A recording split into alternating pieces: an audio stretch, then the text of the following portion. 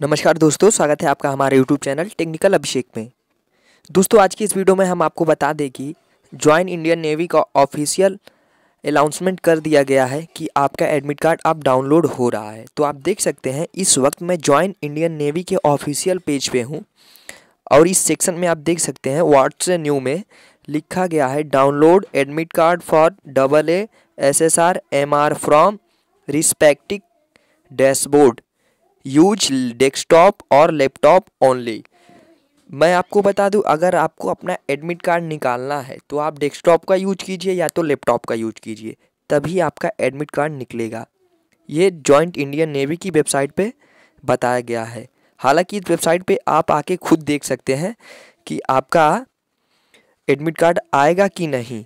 तो मैं आपको बता दूँ, बस अगर आप इस पर डेस्कटॉप यूज़ कीजिए या लैपटॉप यूज़ करके अपना एडमिट कार्ड निकाल सकते हैं। मान लीजिए आपको मोबाइल पे निकालना है तो आपको एक बात ध्यान देना होगा, आपके ब्राउज़र में, किसी भी ब्राउज़र में थ्री डॉट नज़र आएगा और सिंपल से आपको नीचे आना होगा और डेस्कटॉप साइट एक होता है। ये डेस्कटॉप साइट है, आपको इस पर क्लिक कर लेना होगा, तब आपका एडमिट कार्ड निकल सकता है आपके फ़ोन से।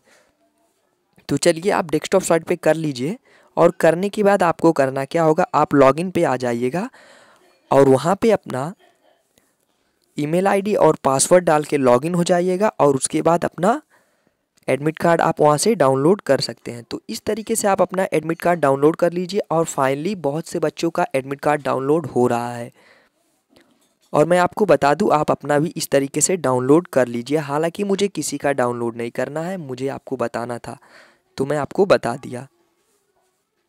अगर वीडियो पसंद आए तो लाइक कीजिए और मेरे दोस्तों के साथ शेयर कीजिए और वीडियो के नीचे कमेंट ज़रूर कीजिए। तो मिलते हैं अगली वीडियो में, तब तक के लिए बाय बाय